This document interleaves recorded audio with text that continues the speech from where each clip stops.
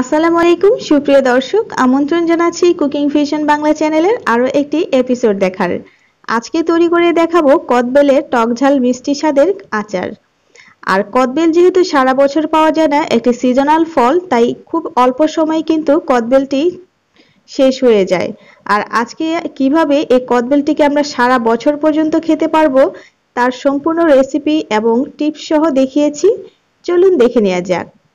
প্রথমে আমাদের লাগবে কদবেল। এখানে আমি পাকা কদবেল নিয়েছি।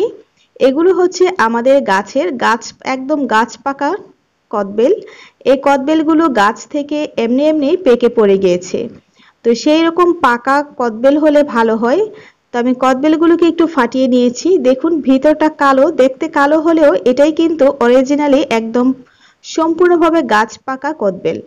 আর এই কদবেলটা যদি এরকম গাছ পাকা কদবেল হয়, তাহলে কিন্তু আচারটা খেতে বেশি ভালো লাগে। তো সবার তোর বাড়িতে গাছ থাকবে না, তারা কি করবে? তারা হচ্ছে এখন বাজারে প্রচুর পরিমাণের কদবেল কিনতে পাওয়া যায়। তারা পাকা কদবেলগুলো দেখে দেখে পাকা কদবেলগুলো কিনতে হবে আর এভাবে একটি চামচের সাহায্যে ফাটিয়ে ভিতর থেকে শ্বাসগুলো বের করে নিতে হবে। আর এই কাজটি করতে সাহায্য করছে আমার ছোট্ট সোনামণি, আমার মেয়ে সে আমার কাজ করতে হেল্প করছে, কারণ সে হেল্প করতে খুবই লাইক করে। আপনারাও কিন্তু আপনাদের বাসার ছোট্ট সোনামণিদের দিয়ে এই কাজগুলো করাতে পারেন, এতে করে তারাও খুশি হবে, আপনাদেরও কিন্তু ভালো লাগবে। তো আমাদের মা ও মেয়ে দুজনের কদবেল থেকে এই শ্বাসগুলো বের করে নেওয়া হয়ে গিয়েছে এবং খুব ভালোভাবে আমরা সম্পূর্ণটা বের করে নিয়েছি। আমি যে কদবেলগুলো নিয়েছি, এগুলো খুবই বড় সাইজের। আপনারা বাজার থেকে যে কোনো ছোট বড় সাইজে যে কোনো প্রয়োজন অনুযায়ী পছন্দ মতো কদবেল নিতে পারেন। তবে অবশ্যই চেষ্টা করবেন একদমই পাকা পাকা যে কদবেলগুলো সেগুলি সংরক্ষণ করার। এতে করে আচারটা খুবই ভালো লাগে খেতে, আর নিশ্চয়ই দেখে বুঝতে পারছেন এটা কতটা সফট এবং কতটা পাকা। তো যদি শক্ত হয়ে যায় ভিতরটা, যেহেতু কদবেল উপর থেকে দেখে বোঝা যায় না, ভিতরটা যদি শক্ত হয়ে যায়, সেক্ষেত্রে হাত দিয়ে ভালোভাবে কচলে কচলে সফট করে নিতে হবে। তো আমারটা যেহেতু একদম গাছ পাকা, একদম খুবই সফট সেজন্য আমার চামচ দিয়ে হালকা করে নিলেই এরকম সফট হয়ে যায়। আর আমাদের গাছের এই কদবেলগুলো খেতে কিন্তু ভীষণ মজার, খুবই মিষ্টি এবং খুবই ভালো ভালো মানের এই কদবেলগুলো। এগুলো দিয়ে আমি এখন আচার তৈরি করে নিব। তো চলুন আমাদের নেক্সট প্রসেসে চলে যাচ্ছি। Okay let's go to my kitchen তো আমরা কিচেনে চলে আসলাম। একটি হাঁড়ির মধ্যে সরিষা তেল দিয়েছি। আর সরিষা তেল নিয়েছি আমি এখানে হাফ কাপ আর এখানে দিয়ে দিচ্ছি দুটো শুকনো মরিচ। আর শুকনো মরিচগুলোকে একটি কাঁচির সাহায্যে একটু কেটে কেটে ছোট করে দিব।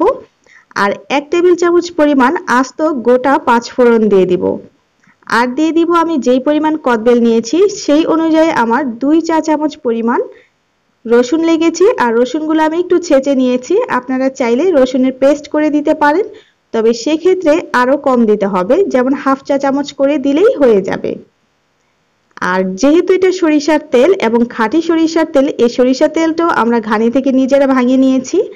আর এই খাঁটি সরিষার তেলটা হওয়ার কারণে এটা কিন্তু উপরটা এত বেশি ফেনা উঠেছে।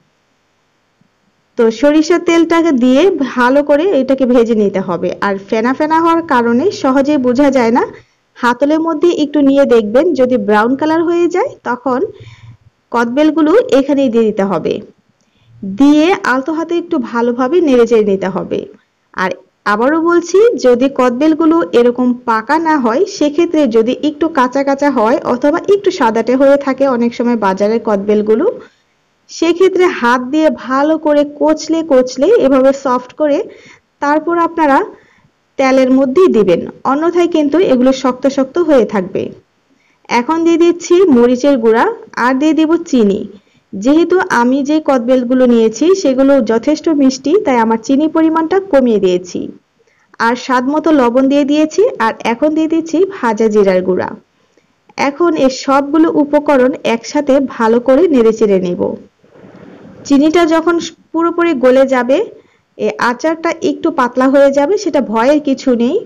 আস্তে ধীরে এটাকে জাল করতে করতে কিন্তু বেশ আঠালো হয়ে যাবে।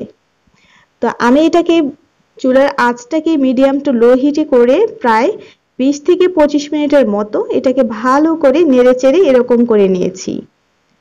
যখন আপনারা বুঝতে পারবেন, চিনি গলে গিয়েছে সম্পূর্ণভাবে, আচারের কালারটাও বেশ চেঞ্জ হয়ে গিয়েছে। ঠিক লাস্ট মুহূর্তে তখন আপনারা এখানে সিরকা দিয়ে দিবেন। আর আমি এখানে হাফ কাপ পরিমাণ সিরকা দিয়ে দিয়েছি। আর সেটা অবশ্যই সাদা সিরকা হতে হবে। বাজারে কিন্তু এই হোয়াইট ভিনেগার বা সাদা সিরকাটা অ্যাভেলেবেল পাওয়া যায়। আর এখন দিয়ে দিয়েছি চাট মশলা। এই যে আচারটা তৈরি করেছি, এটা একটা চটপটা টেস্ট নিয়ে আসবে। আর এই চাট মশলাটা অবশ্যই দেওয়ার চেষ্টা করবেন। এতে করে খুবই টেস্টি একটা ফিল আপনারা পাবেন। আর এর মধ্যে আরও দিতে পারেন ভিট লবণ। ভিট লবণটা আপনাদের টেস্ট অনুযায়ী মিষ্টি এবং টক ঝাল যতটুকু আপনারা পছন্দ করেন, ঠিক সেই পরিমাণ অনুযায়ী পছন্দ মতো দিয়ে দিবেন। তো দেখুন, আচার থেকে কিন্তু তেলটা আলাদা আলাদা হয়ে যাচ্ছে, তার মানে আচারটা আমার রেডি হয়ে গিয়েছে। এখন আপনারা কি করবেন, এই আচারটাকে একটা এয়ারটাইট কাচের বয়ামে করে রেখে শুকনো বয়াম হতে হবে। তাহলে সেই বয়ামের মধ্যে রেখে উপরে যাতে কিছুটা তেল ভেসে থাকে সে অবস্থায় যদি রেখে দেন, ছয় মাস পর্যন্ত নর্মাল টেম্পারেচারে একদমই ফ্রেশ এবং ভালো থাকবে। আর যদি সারা বছরের জন্য সংরক্ষণ করতে চান, সেক্ষেত্রে ফ্রিজের নর্মাল চেম্বারে রেখে এটাকে এক বছরের জন্য সংরক্ষণ করতে পারবেন। তবে অবশ্যই মাঝে মাঝে রোদের শুকাতে দিতে হবে। আর আচারটা যখন খাবেন, খালি হাত ধরে খাবেন না, সেটা অবশ্যই শুকনো একটা চামচ দিয়ে নিয়ে খাবেন। এরকম আরও রেসিপি পেতে আমার চ্যানেলটি সাবস্ক্রাইব করে রাখবেন। আর যারা সাবস্ক্রাইব করেছেন, তাদেরকে জানাচ্ছি অসংখ্য ধন্যবাদ। আর ভালো লাগলে প্লিজ একটি লাইক ও কমেন্ট করবেন। ভালো থাকবেন সবাই, আল্লাহ হাফেজ।